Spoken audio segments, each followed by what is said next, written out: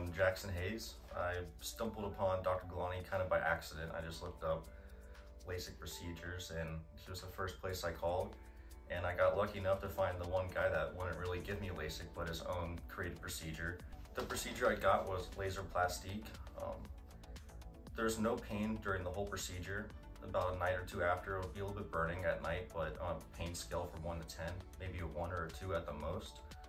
Um, it took a few weeks for my vision to fully come back, but came back better than ever. Met everyone that from around the globe when it was the day of the procedure, and that was really nice experience to see people from other countries and from different states. And uh, yeah, it was, it was phenomenal. Because I'm a Muay Thai fighter, so I kickbox, and I get hit in the eye a lot or around the head. And with LASIK, there's a chance that the lens can come off, which means I can't really do that anymore.